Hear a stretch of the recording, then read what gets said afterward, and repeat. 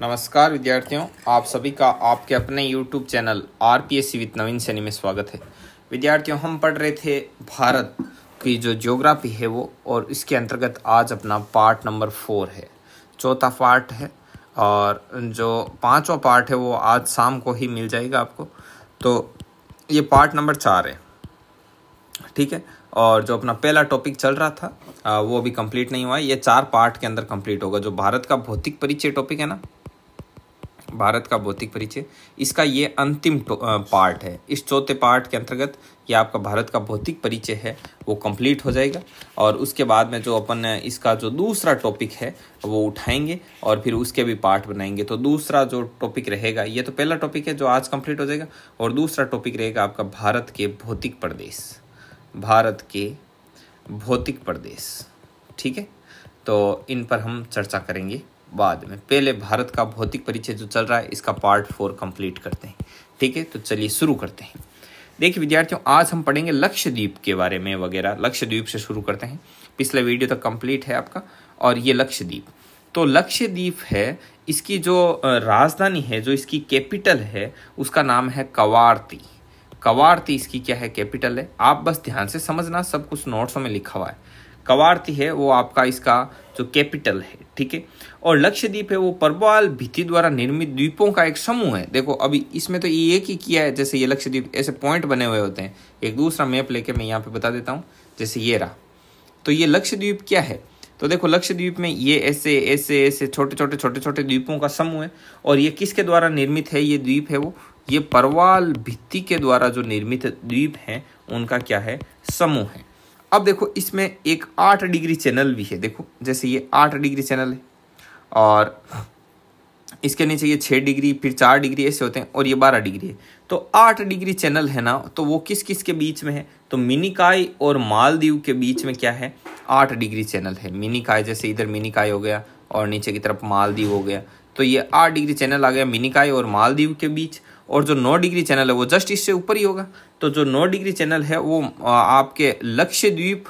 लक्षद्वीप और मिनिकाय के बीच में हो गया समझ में आई बात जैसे ये नोट्स में हालांकि यहाँ पे बनाया हुआ है मैं अभी बताता हूँ मैप के थ्रू आपके ये रहा कहाँ बनाया हुआ है ये रहा ये ऐसे है देखो ये आठ डिग्री चैनल है आठ डिग्री चैनल है वो तो किसके बीच में मिनिकाय और मालदीव के बीच में और ऊपर ये लक्षद्वीप वाला आ गया परवाल भित्ति का ये द्वीपों का समूह तो ये लक्षद्वीप और मिनिकाय इसके बीच में है नौ डिग्री चैनल और मिनिकाय और मालदीव के बीच में है आठ डिग्री चैनल ठीक है इसको इस प्रकार से अभी अपन नोट्स में पूरा पढ़ लेंगे ठीक है और अब आगे बढ़ते हैं देखिए एक अपने भारत और श्रीलंका के बीच में भारत और ये जो श्रीलंका देखो ये इंडिया का मैप है इधर अब मैं किस चीज़ के बारे में बखान करने जा रहा हूँ पाक स्ट्रेट के बारे में तो अब अपन भारत और श्रीलंका से जुड़ी हुई चीज़ें पढ़ेंगे देखो अंडमान निकोबार पढ़ लिया लक्षद्वीप पढ़ लिया अब भारत का श्रीलंका के साथ अटैचमेंट है वही पढ़ लेते हैं तो इसमें एक है पाक स्ट्रेट भारत और श्रीलंका का अटैचमेंट पढ़ रहे हैं और इसमें पहली चीज़ है पाक स्ट्रेट तो पाक स्ट्रेट क्या है देखो ये लिखा हुआ दिख रहा होगा आपको पाक स्ट्रेट तो पाक स्ट्रेट क्या है इसे पाक जल डमरू भी कहते हैं पाक जल डमरू मध्य पाक जल डमरू मध्य और क्या बोलते हैं इसको इसको पाक जल संधि भी बोलते हैं ये भारत और श्रीलंका के मध्य ये इधर श्रीलंका और ये भारत और श्रीलंका के मध्य ये पाक स्टेट है ठीक है और क्या है ये तमिलनाडु और जापना प्रायद्वीप है के मध्य है ठीक है तो तमिलनाडु में इधर क्या है तमिलनाडु और इधर जापना प्रायद्वीप तो इनके बीच में है ये तो ये चीज़ भी आप ध्यान रखना वैसे नोट्स में सब कुछ लिखा हुआ है आप अभी पढ़ लेना आराम से और देखो एक आपके आदम पुल है आदम पुल और आदम ब्रिज आदम पुल आदम ब्रिज बताते हैं कि ये वही ब्रिज है जो भगवान राम श्रीलंका जाने के लिए बनाया था वो भी यहीं पर है ठीक है और ये तमिलनाडु और श्रीलंका के मध्य स्थित है और आदम ये आदम ब्रिज का हिस्सा है जिसे अपन आदम पुल ये आदम ब्रिज है ना ये किसका हिस्सा बताऊँ पम्बन द्वीप का किसका हिस्सा है पम्बन द्वीप का हिस्सा है ये आदम पुल आदम ब्रिज जो बोलते हो आप इसको ये पम्बन द्वीप का हिस्सा है और पम्बन द्वीप कहाँ स्थित है जो रामेश्वरम है उस पर ये पम्बन द्वीप है वो स्थित है ठीक है रामेश्वरम है वो पंबन द्वीप पर स्थित है खुद ये रामेश्वरम इस पंबन द्वीप पर स्थित है ऐसे ठीक है और पंबन द्वीप का जो दक्षिण पूर्व हिस्सा है उसमें श्रीलंका से पहले जो भारत का अंतिम गांव आता है धनुषकोडी तो श्रीलंका से पहले और जो भारत का अंतिम गांव आएगा उसका क्या नाम है धनुषकोडी तो इसको भी आप थोड़ा सा ध्यान में रख लेना वैसे नोट्सों में लिखा हुआ है ये सब कुछ ठीक है चलिए एक चीज़ और इम्पोर्टेंट है कि जो आदम ब्रिज के उत्तर में पाक की खाड़ी और दक्षिण में मन्नार की खाड़ी है ये भी चीज़ थोड़ी बहुत ध्यान में रखना ये बहुत इंपॉर्टेंट है कि भाई पाक जो आदम ब्रिज है उसके उत्तर में तो पाक की खाड़ी है और दक्षिण में मन्नार की खाड़ी है तो ये कुछ चीज़ें थी अब देखिए खाड़ी किस चीज़ को बोलते हैं ये भी बता देता हूँ कि आपके दिमाग में आए कि खाड़ी किसे बोलते हैं तो तीनों तीन ओर से जो गिरा हुआ जल क्षेत्र होता है ना उसको खाड़ी बोलते हैं तीन ओर से गिरा हुआ जल क्षेत्र तो अभी तक अपन ने जितना पढ़ा उसको एक बार नोट्स में देख लेते हैं तो आइए नोट्स में देखते हैं यहाँ से शुरू है अपना पार्ट फोर लक्षद्वीप लक्षद्वीप है वो परवाल भित्ति द्वारा निर्मित एक द्वीपों का एक क्या है समूह है जो कि अरब सागर में स्थित है तो द्वीप कहाँ स्थित है अरब सागर में स्थित है ठीक है और आठ डिग्री जो चैनल है वो मिनिकाय और मालदीव के बीच में है मिनिकाय और मालदीव के बीच में और जो नौ डिग्री चैनल है वो मिनिकाय और लक्ष्यद्वीप के बीच में स्थित है ठीक है और लक्षद्वीप की जो राजधानी है वो कवारती है कवारती लक्षद्वीप की क्या है राजधानी है इस चीज़ का भी आपको थोड़ा सा ध्यान रखना है आगे बढ़ते हैं आगे है भारत और श्रीलंका के मध्य तो एक पाक स्टेट है जिसे पाक जल डमरू मध्य और पाक जल संधि भी कहते हैं ये भारत और श्रीलंका के बीच में तमिलनाडु और जापना प्रायद्वीप के मध्य और आदम पुल जो आदम ब्रिज है वो तमिलनाडु और श्रीलंका के मध्य स्थित है और पम्बन द्वीप है ना वो आदम ब्रिज का ही हिस्सा है और रामेश्वरम है वो पम्बन द्वीप पर स्थित है पम्बन द्वीप के दक्षिण पूर्वी हिस्से में श्रीलंका से पहले जो भारत का अंतिम गांव है वो धनुषकोडी है ये ध्यान रखना इंपॉर्टेंट है और आदम ब्रिज के उत्तर में पाक की खाड़ी व दक्षिण में मन्नार की खाड़ी है मतलब आदम ब्रिज का जो उत्तर डायरेक्शन है उसमें तो पाक खाड़ी आएगी और दक्षिण की जो डायरेक्शन है उसमें मन्नार की खाड़ी और खाड़ी तीन ओर से गिरा हुआ जल क्षेत्र होता है ठीक है अब थोड़ा सा यहाँ पर देख लेते हैं यहाँ से आपको समझ में आ जाएगा देखो ये पूरी बंगाल की खाड़ी है ठीक है इधर ये अपना तमिलनाडु तो ये बात कैसे है देखो इसको यहाँ मैप में समझना ये ठीक ऐसे है ये वाला भाग कौन सा है देखो ये वाला ये वाला भाग है ना इस भाग को मैं यहाँ पर बनाता हूँ ये वाला भाग यहाँ है आई बात समझ में अब ये बीच में ये बीच में आई है ना ये ये बंगाल की खाड़ी पूरी की पूरी तो ये कौन सी बताऊँ ये है पूरी ये वाली ये बंगाल की खाड़ी ऐसे ठीक है अब ये बीच में ये पाक स्टेट और इधर बताऊँ इधर ये पाक स्टेट ऐसे ठीक है और ये तमिलनाडु के इस तरफ ये जापना प्रायद्वीप है ना तो ये जापना प्रायद्वीप इधर है ये जापना प्रायद्वीप इधर है ठीक है और इधर ये आपका क्या हो गया श्रीलंका और देखो और इस मैप को समझो और देखिए अब ये पाक की खाड़ी है इधर ये पम्बन द्वीप है ठीक है और पम्बन द्वीप ये धनुष कोड़ी और ये इधर मनार की खाड़ी है तो अपने ऊपर लाइनें लिखी हुई थी देखो एक लाइन ये लिखी हुई थी कि पम्बन द्वीप के दक्षिण पूर्वी हिस्से में श्रीलंका से पहले भारत का अंतिम गांव धनुषकोडी तो इधर आइए अब आप एक सेकेंड ये पम्बन द्वीप पम्बन द्वीप के दक्षिण पूर्वी हिस्से में ठीक है दक्षिणी और पूर्वी दक्षिणी पूर्वी से में ये धनुष कोडी ये यहाँ पर धनुष कोडी आदम आदम पुल है ये रामेश्वरम है और ये पंबन द्वीप है ठीक है इसको ऐसे समझ लेना बाकी ये नोट्स मिल जाएंगे आपको पीडीएफ के रूप में आप इनमें से इसका प्रिंट निकाल के एक एक चीज़ समझ सकते हो ठीक है आगे बढ़ते हैं भारत में वर्तमान में कुल कितने राज्य हैं अट्ठाईस राज्य हैं और आठ केंद्र शासित प्रदेश ठीक है और भारत की सीमा से सटे पड़ोसी देश कितने हैं सात है तो रेड क्लिप रेक का कहाँ कहाँ लगती है तो भारत और पाकिस्तान भारत और बांग्लादेश इनके मध्य जो भारत पाकिस्तान और भारत बांग्लादेश के मध्य जो रेखा लगती है उसे रेड क्लिप रेखा बोलते हैं और रेड क्लिप रेखा है वो सर रेड क्लिप थे उनके द्वारा उन्नीस में 14 और 17 अगस्त उन्नीस में इस सीमा का क्या किया गया था निर्धारण किया गया था कब 14 ऑब्लिक 17 अगस्त उन्नीस को अब देखो ये रेड क्लिप रेखा भी देख लेते हैं अपन मैप पर थोड़ी सी अब ये कंप्लीट हो गया अपने श्रीलंका के साथ इतना ही है अपना टॉचिंग है वो ठीक है अब देखिए इधर इधर समझते हैं अब देखो एक तो ये रेखा यहाँ से लेके ये देखो ये भारत और बांग्लादेश ठीक है भारत और बांग्लादेश के साथ ये जो बॉर्डर बन रहा है ये वाला और एक यहाँ से शुरू है यहाँ से लेके गुजरात ये राजस्थान राजस्थान से लेकर ये पंजाब पंजाब इधर से सॉरी ये जम्मू जम्मू से आगे ये लद्दाख और यहाँ तक ये दोनों रेखाएं हैं सॉरी ऐसे मिट कैसे गया एक सेकेंड रुकना ये लो तो ये जो रेखाएं हैं ये दोनों के दोनों क्या कहलाती है रेड क्लिप अब इनको रेड क्लिप दोनों को रेड क्लिप क्यों बोलते हैं आपको पता है पहले बांग्लादेश है वो पाकिस्तान का हिस्सा था और इसे क्या बोला जाता था पूर्वी पाकिस्तान ठीक है ना तो इस वजह से इन दोनों को ही रेड क्लिप ही बोलते हैं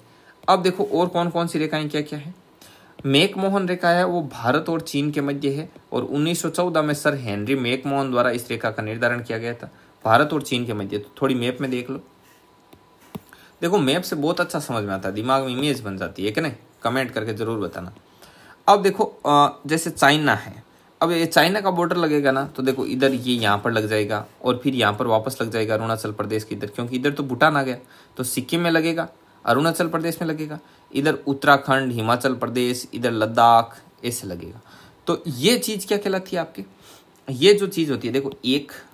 दो तीन ये चार और ये पांच स्टेट लगते हैं अपने चाइना बॉर्डर पर तो इनके जो ये रेखा है इसको बोलते हैं मेक मोहन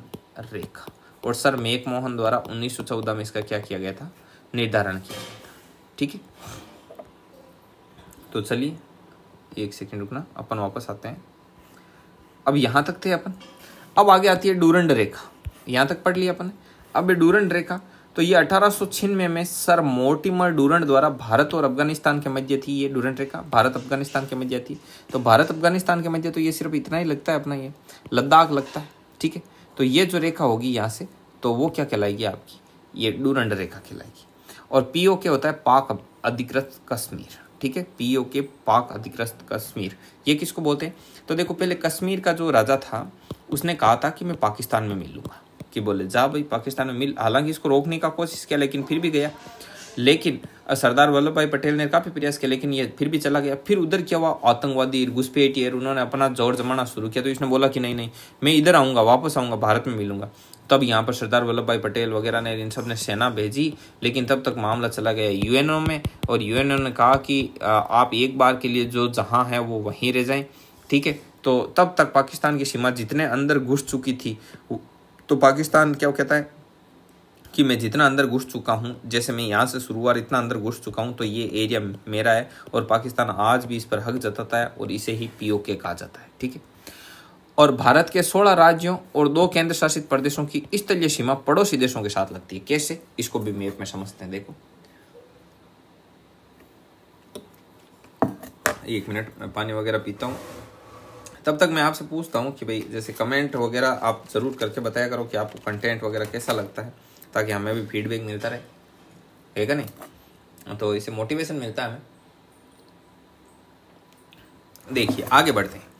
तो भारत के 16 राज्यों और दो केंद्र शासित प्रदेशों की जो स्थलीय सीमा है वो पड़ोसी देशों के साथ लगती कैसे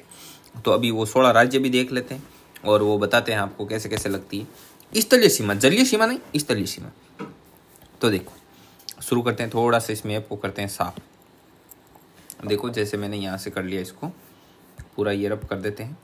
अब अपन देखना शुरू करते हैं कि कौन कौन से राज्य कैसे कैसे लगते हैं तो देखो सबसे पहले यहाँ से शुरू करते हैं ठीक है इनकी कैसे सीमा लगती है पड़ोसी देशों के साथ तो नंबर एक त्रिपुरा की सीमा लगती है बांग्लादेश के साथ नंबर दो नंबर दो पर आता है अपना मिजोरम तो देखो मिजोरम के इधर बांग्लादेश से लगेगी इधर म्यांमार से लगेगी दो नंबर तीन पर मणिपुर नंबर चार पर नागालैंड नंबर पाँच पर है अरुणाचल प्रदेश नंबर छः छः पर देखो छः पर आसाम है क्यों क्योंकि आसाम की यहाँ बांग्लादेश के साथ भी लगती है और यहाँ पर दो बार लगती है बांग्लादेश के साथ तो छः और नंबर सात पर ये मेघालय भी है ठीक है मेघालय की भी तो लगती है बांग्लादेश के साथ और देखो नंबर आठ पर है आपका जैसे ये सिक्किम सिक्किम की भी लगती है नंबर नौ पर है आपके पश्चिम बंगाल पश्चिम बंगाल इसकी भी बांग्लादेश के साथ सीमा लगती है और आठ में ये इसकी लग रही है देखो सिक्किम की लगती है चाइना के साथ तो ये हो गए आठ नौ तो यहीं हो गए आगे देखो दस नंबर पर आता है बिहार अब देखो ये इनकी सबकी स्थलीय सीमा जलीय सीमा नहीं है देख लो पश्चिम बंगाल की स्थलीय सीमा लग रही है ये सबकी स्थलीय सीमा लग रही है अब देखो दस नंबर पर बिहार की लग रही है नेपाल के साथ ग्यारह पर उत्तर प्रदेश की लग रही है और बारह पर उत्तराखंड की लग रही है और चौदह सॉरी तेरह पर लग रही है हिमाचल प्रदेश की और देखिए इतने लगे चौदह पर लगती है अपने राजस्थान की ठीक है और पंद्रह पर आप गुजरात देख लो और सोलह पर देख लो आप पंजाब तो इनकी किसके साथ सीमा लग रही है इन सोलह राज्यों की जो स्थलीय सीमा लग रही है वो पड़ोसी देशों के साथ लग रही है अब अब दो केंद्र शासित प्रदेश है कौन कौन से एक तो जम्मू एंड कश्मीर और एक है लद्दाख ठीक है इन दो केंद्र शासित प्रदेशों की भी लगती है तो टोटल सोलह तो राज्य और दो केंद्र शासित प्रदेश इनकी क्या है स्थलीय सीमा लगती है पड़ोसी देशों के साथ अब आप बोलोगे कि सर ये महाराष्ट्र की वगैरह ये तो ये जो चीज़ें हैं ये जो देखो इंटरनेशनल बाउंड्री है बाकी की जो भी तो ये क्या होती है ये पूरा ये क्या है ये इस तरह नहीं है ये जलीय सीमा है ये श्रीलंका के साथ इधर लगती है वो ठीक है ना तो ऐसे काउंटर नहीं कर सकते आ, अभी तक हमने इतनी बात की एक है सेवन सिस्टर्स तो सेवन सिस्टर्स कौन सी है सात बहनें तो उनके बारे में बता दूँ तो भारत के जो सात पूर्वी राज्य हैं उनको सेवन सिस्टर कहते हैं जैसे देखो ये वाला एक त्रिपुरा दो मिजोरम तीन मणिपुर चार नागालैंड पाँच अरुणाचल प्रदेश छः आसाम और जो सातवां है वो है मेघालय तो ये सेवन सिस्टर है और आप ये चीज़ ज़रूर से ज़रूर ध्यान में रखना कि ये सिक्किम में है वो सेवन सिस्टर का हिस्सा नहीं है हर बार इसी को लेकर वो कन्फ्यूज करता है ठीक है और एक चीज़ आती है चिकन नेक चिकन नेक इसको बोला जाता है चिकन नेक बोला जाता है कि नेपाल और बांग्लादेश के मध्य जैसे इधर तो है ये आपका बांग्लादेश और एक इधर है नेपाल तो इसके बीच में ये पतला सा है एकदम मतलब इसको यदि यहाँ से कट कर देना तो ये पूरा का पूरा हिस्सा है ये वाला ये भारत से अलग हो सकता है तो ये जोड़े रखता है भारत को पूर्वी राज्यों सेवन सिस्टर्स से तो इसे बोलते हैं चिकन नेक और ये जो हिस्सा है वो कौन से स्टेट का है तो ये देखो ग्रीन कलर में आपको दिख रहा है ये पश्चिम बंगाल का हिस्सा है पश्चिम बंगाल का हिस्सा है ये ठीक है और पश्चिम बंगाल के सिलीगुड़ी क्षेत्र में ये 22 किलोमीटर चौड़ी एक संकरी सड़क है 22 किलोमीटर चौड़ी 22 किलोमीटर चौड़ी और ये जो संकरी तो भाई अपन ओवरऑल देखें कि भाई पूरे भारत को जोड़े हुए तो उस हिसाब से संकरी है वैसे संकरी नहीं है बाईस किलोमीटर चौड़ी और ये सेवन सिस्टर को पूरे भारत से शेष भारत से जोड़ी हुई रखती है और ये जो चिकन नेक है इसको सिलीगुड़ी कॉरिडोर भी कहा जाता है ये भी ध्यान रखना सिलीगुड़ी कॉरिडोर भी से कहा जाता है तो इन चीज़ों को भी एक बार नोट्स में पढ़ लेते हैं देखो भारत के सोलह राज्य वे दो केंद्र शासित प्रदेशों की स्थलीय सीमा पड़ोसी देशों के साथ लगती है त्रिपुरा मिजोरम मणिपुर नागालैंड अरुणाचल प्रदेश आसाम मेघालय पश्चिम बंगाल सिक्किम बिहार यूपी उत्तराखंड हिमाचल प्रदेश राजस्थान गुजरात पंजाब और दो यूनियन टेरिटरी केंद्र शासित प्रदेश हैं लद्दाख और जम्मू कश्मीर आगे देखो सेवन सिस्टर्स भारत के सात पूर्वी राज्य असम अरुणाचल प्रदेश नागालैंड मणिपुर मिजोरम त्रिपुरा मेघालय ये मैप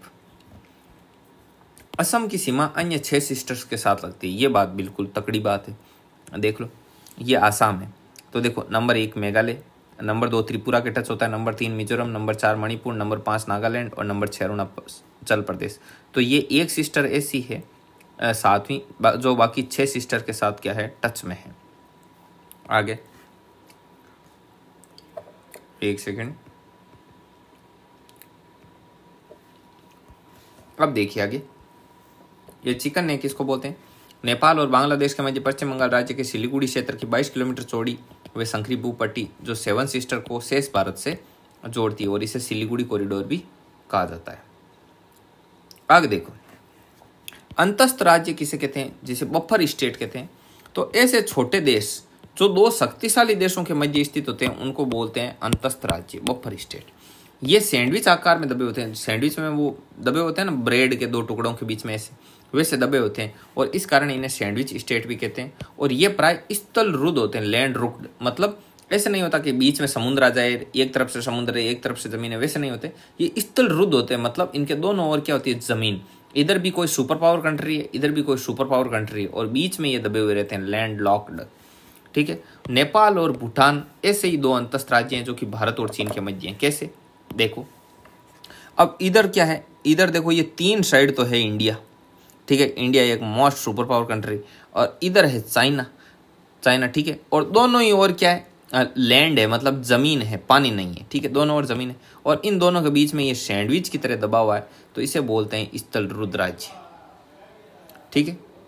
आई बात समझ में अब देखिए आगे अगला है ये भारत में उन्नीस तो टोटल राज्य हैं और चार केंद्र शासित प्रदेश हैं लैंड लॉक्ड है ठीक है वैसे तो राज्य ज़्यादा है अट्ठाईस है लेकिन ये लैंड लॉक्ड है मतलब जिनके ज़मीन है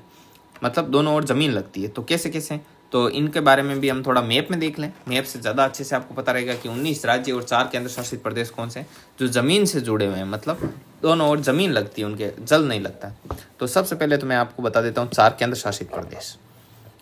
तो देखिए एक बार इसको मिटा देते हैं आराम से सीखिए और वीडियो में अंत तक बने रहिएगा देखो नंबर एक जम्मू कश्मीर नंबर दो लद्दाख और नंबर तीन तीन नंबर पर आती है आपकी दिल्ली ठीक है तो तीन नंबर पर ये आ गई यहाँ पर ये रही दिल्ली और नंबर चार पर आती है ये चंडीगढ़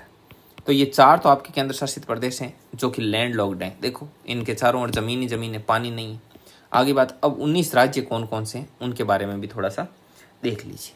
तो लैंड लॉक्ड होने चाहिए ठीक है और मतलब पानी नहीं होना चाहिए तो लैंड लॉक्ड में देखिए एक आपका इधर हिमाचल प्रदेश है एक और दो पंजाब है तीन हरियाणा है चार उत्तराखंड है ठीक है और उत्तराखंड यूके यूपी तो ये पाँच है ठीक है राजस्थान है छः है ठीक है और इसके अलावा आप कौन कौन सा लोगे एमपी ले लो सात ठीक है बिहार ले लो आठ झारखंड नौ छत्तीसगढ़ दस और इसके अलावा तेलंगाना ग्यारह तेलंगाना ग्यारह हो गया और और कौन सा है लैंड लॉकड में ग्यारह इधर से हो गए और इधर आसाम है बारह और अरुणाचल प्रदेश तेरह और नागालैंड है आपका चौदह एंड और इसमें लोगे आप अरुणाचल प्रदेश या गया मणिपुर मणिपुर ले लो पंद्रह सिक्किम आ गया आपका सोलह तो देखिए एक बार मैं वापस बोलता हूँ देखो एक राजस्थान है ठीक है राजस्थान राजस्थान आ गया पंजाब आ गया हिमाचल प्रदेश आ गया ये रहा हिमाचल प्रदेश उसके बाद में उत्तराखंड आ गया और यूपी आ गया अपना ये हरियाणा आ गया सॉरी हिमाचल प्रदेश ये ये उत्तर प्रदेश है और ये मध्य प्रदेश आ गया तो ये सारे आ गए मणिपुर मिजोरम त्रिपुरा वगैरह सब ले लिए तो ये सब किस में आ गए टोटल एक सेकेंड रुकना मैं वापस लगाता हूँ इनको मुझे लगता है कि इनमें से एक दो कोई मिस कर रहे हैं ऐसे ऐसे कैसे हो रहा है टोटल उन्नीस होंगे ना तो देखो मैं वापस लगाना शुरू करता हूँ एक नंबर राजस्थान दो नंबर पंजाब तीन नंबर पर हिमाचल प्रदेश और चार नंबर पर है आपके उत्तराखंड पाँच नंबर पर है आपका यूपी छः नंबर पर है आपका बिहार और सात नंबर पर है आपका इधर सिक्किम आठ नंबर पर है असम नौ नंबर पर है मेघालय ठीक सॉरी ये रहा मेघालय यहाँ पर ही है नौ नंबर पर मेघालय दस नंबर पर है आपका अरुणाचल प्रदेश ग्यारह नंबर पर है नागालैंड बारह नंबर पर है मणिपुर और तेरह नंबर पर है आपका ये मिजोरम और चौदह नंबर पर है आपका ये त्रिपुरा ठीक है और पंद्रह नंबर पर आपका आता है ये हरियाणा सोलह पर एमपी ठीक है सत्रह पर ये छत्तीसगढ़ एंड अठारह पर है झारखंड और जो उन्नीस पर है तेलंगाना येलो अब देखो इनके कहीं पर भी पानी टच नहीं होता है इनके बॉर्डर में पानी टच नहीं होता है बाकी उन्नीस राज्य ऐसे और चार केंद्र शासित प्रदेश हैं जिनमें पानी टच नहीं होता ठीक है और देखिए भारत की जनसंख्या भी बड़ी अच्छी खासी जनसंख्या है और बताते हैं कि पूरी दुनिया का साढ़े सत्रह परसेंट जो इंसान है आबादी है वो भारत में निवास करती है इस हिसाब से भारत की दुनिया में सेकेंड रैंक है ठीक है फर्स्ट नंबर पर अभी चाइना विराजमान है जनसंख्या के मामले में ठीक है तो ये चीज़ है और देखिए भारत के पांच राज्य ऐसे हैं और दो केंद्र शासित प्रदेश दो केंद्र शासित प्रदेश ऐसे हैं जो इंटरनेशनल बाउंड्री को टच नहीं करते जैसे आ, अपना एक तो नई दिल्ली ठीक है और एक अपना चंडीगढ़ तो ये दो केंद्र शासित प्रदेश ऐसे हैं जो कोई भी अंतर्राष्ट्रीय सीमा नहीं बनाते ठीक है और पांच राज्य ऐसे हैं जो अंतर्राष्ट्रीय सीमा नहीं बनाते जैसे ये हरियाणा देखो ये बीचों बीच बेटा है इसका किसी से कोई लफड़ा ही नहीं है तो नंबर एक ये नंबर दो पर आप ये झारखंड देख लो ये झारखंड ऐसा राज्य है जो किसी के साथ इंटरनेशनल बाउंड्री नहीं बना था नंबर तीन पर एमपी देख लो एमपी के कोई दुखड़ा ही नहीं है ये इधर बीच में बैठा है आपका आराम से ठीक है तो ये इधर एमपी है तीन और और देखिए और आपको देखने को मिल जाएगा जैसे तेलंगाना है तेलंगाना कोई इंटरनेशनल बॉर्डर नहीं बनाता है नंबर चार और आपको ऐसा ही कुछ देखना हो तो देखो जैसे छत्तीसगढ़ है ये रहा छत्तीसगढ़ तो ये छत्तीसगढ़ है पाँच तो ये पांच राज्य ऐसे हैं जो कहीं पर भी इंटरनेशनल बॉर्डर नहीं बनाते हैं तो इस चीज़ का भी आप विशेष ध्यान रखिएगा ठीक है और दो राज्य ऐसे हैं जो स्थलीय सीमा भी बनाते हैं जैसे ये गुजरात स्थलीय सीमा जैसे ये गुजरात है ये स्थलीय सीमा भी बनाता है और ये तटीय सीमा भी बनाता है तटीय सीमा मतलब जो पानी का बॉर्डर भी तो देखो ये पानी का बॉर्डर भी टच कर रहा है गुजरात के आ, मैं बताता हूँ अभी आपको ये रेड कलर में ये रेड कलर में देखो ये पानी वाला और ब्लू कलर में देखो ये और ऐसे ही पश्चिम बंगाल है पश्चिम बंगाल इधर देखो ये पानी वाला और इधर ये ज़मीन तो दो राज्य ऐसे हैं जो जलीय और तटीय सीमा दोनों बनाते हैं ठीक है तो ये चीज़ें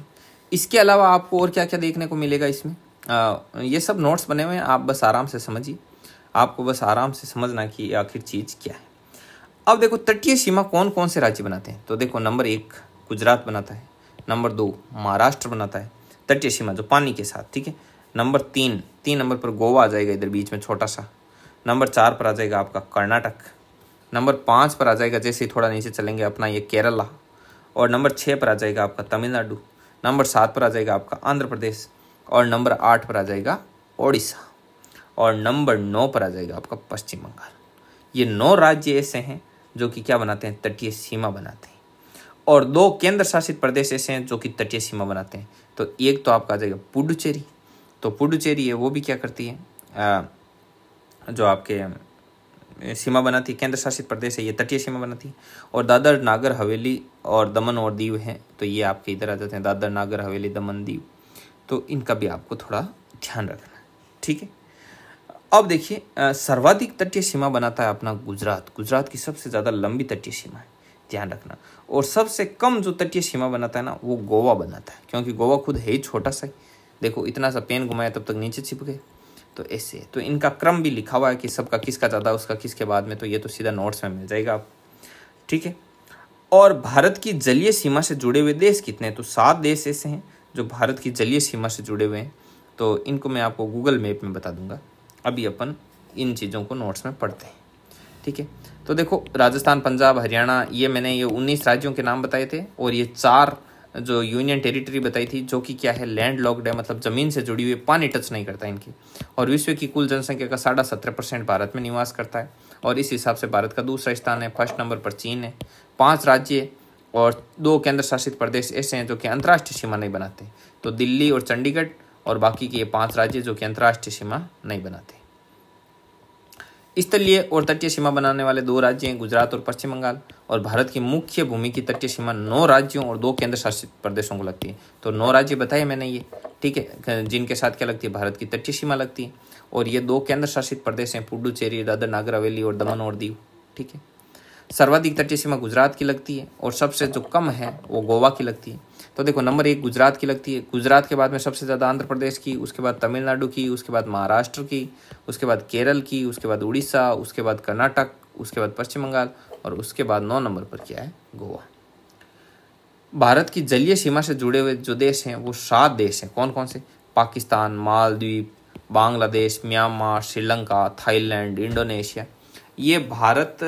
के साथ क्या जलीय सीमा के द्वारा जुड़े हुए हैं ठीक है तो इसका भी आप थोड़ा सा ध्यान रखना तो कुछ तो देखो मैप में दिख जाएगा जैसे ये श्रीलंका है ये भारत के साथ क्या है जलीय सीमा से है पाकिस्तान है तो देखो पाकिस्तान इधर गुजरात साइड ये पूरा पाकिस्तान बॉर्डर लगता है तो ये जलीय सीमा से जुड़ा हुआ है म्यांमार ये इधर देख लो जलीय सीमा से ठीक है और ये बांग्लादेश है तो बांग्लादेश का भी आप देख सकते हो मैप में ये रहा बांग्लादेश ये देखो इधर जलीय सीमा टच हो जाती है ठीक है ना तो ऐसे आप ये ऐसे ये जलीय सीमा टच कर जाती है तो इस प्रकार से पाकिस्तान का बता दिया आपको श्रीलंका का बता दिया बांग्लादेश का बता दिया म्यांमार का बता दिया ये मालदीव थाईलैंड और इंडोनेशिया भी मेप में यहाँ पर बनाए हुए नहीं है मैं बाद में बता दूंगा और देखिए उत्तर प्रदेश एक ऐसा राज्य है जिसकी सर्वाधिक आठ राज्यों और एक केंद्र शासित प्रदेश के साथ सीमा लगती है तो देखो मैप में देखिए ये रही यूपी यूपी के आठ राज्य कौन से लगते हैं एक नंबर दो नंबर तीन नंबर चार और नंबर पाँच नंबर छः और नंबर सात ये कौन सा मिस हो गया ये हिमाचल प्रदेश इधर थोड़ी सी लगती है इसे तो ये आठ तो उत्तराखंड हिमाचल प्रदेश हरियाणा राजस्थान एमपी छत्तीसगढ़ झारखंड और बिहार इतनों की लगती है और एक बॉर्डर लगता है इधर दिल्ली ये केंद्र शासित प्रदेश का जो कि क्या है आपकी आ, दिल्ली है ठीक है ना तो दिल्ली का बॉर्डर भी इसको टच करता है तो ये चीज़ है अपन ने देख ली उत्तराखंड हिमाचल प्रदेश हरियाणा राजस्थान एमपी छत्तीसगढ़ झारखंड बिहार केंद्र शासित प्रदेश में दिल्ली और एमपी के साथ इसकी सर्वाधिक सीमा लगती है ठीक है और हिमाचल प्रदेश के साथ इसकी सबसे कम लगती है तो हिमाचल प्रदेश का दिखाई दे ही रहा है मैप में देखो ये इतना सा तो जुड़ा हुआ है नाम नाम का इंदिरा पॉइंट क्या है नाम इंदिरा पॉइंट तो आपको पता ही है छः डिग्री चार मिनट पर जो ये पॉइंट है इसको पिगमेलियन पॉइंट और पार्सन पॉइंट भी कहते हैं अरुणाचल प्रदेश में सूर्योदय गुजरात से दो घंटे पहले होता है तो भाई अरुणाचल प्रदेश सबसे पूर्व में है यहाँ पर और ये यहाँ पर गुजरात सबसे इधर है गुजरात पूरा पश्चिमी है और अरुणाचल प्रदेश पूरा पूर्वी तो बताते हैं कि गुजरात और अरुणाचल प्रदेश में जो सूर्योदय होता है उस सूर्योदय में भी कितने टाइम का फर्क रहता है दो घंटे का क्या रहता है फर्क रहता है ठीक है उसके बाद में भारतीय उपमहाद्वीप में शामिल देश कौन कौन से हैं तो देखो भारत पाकिस्तान नेपाल भूटान और बांग्लादेश तो ये तो आपने देखे हैं यहाँ पर देखो ये बांग्लादेश एक कंट्री ये दो नंबर पर भूटान तीन ये चार पाकिस्तान और ये पाँचवा एक दो तीन आगे और ये पाँचवा म्यांमार बर्मा तो ये क्या है ये भारतीय उपमहाद्वीप में स्थित है सॉरी भारत है पाकिस्तान नेपाल भूटान बांग्लादेश तो ये पाँच हैं पाँच आ गए ना भारत एक स्वयं आ गया ये म्यांमार नहीं आएगा ना इसका ध्यान रख तो ये किस में है आपके भारतीय उपमहाद्वीप में भारत स्वयं उत्तरी पूर्वी गोलार्ध में स्थित है ये तो हमने पहले ही देख लिया था और भारत एक दक्षिण एशियाई देश है तो ये चीज़ें इंपॉर्टेंट भी है आपसे पूछ सकते हैं भारत कौन से गोलार्ध में तो भारत उत्तरी पूर्वी गोलार्ध में और ऐसे भारत है वो एक दक्षिण एशियाई देश है दक्षिण एशियाई देश है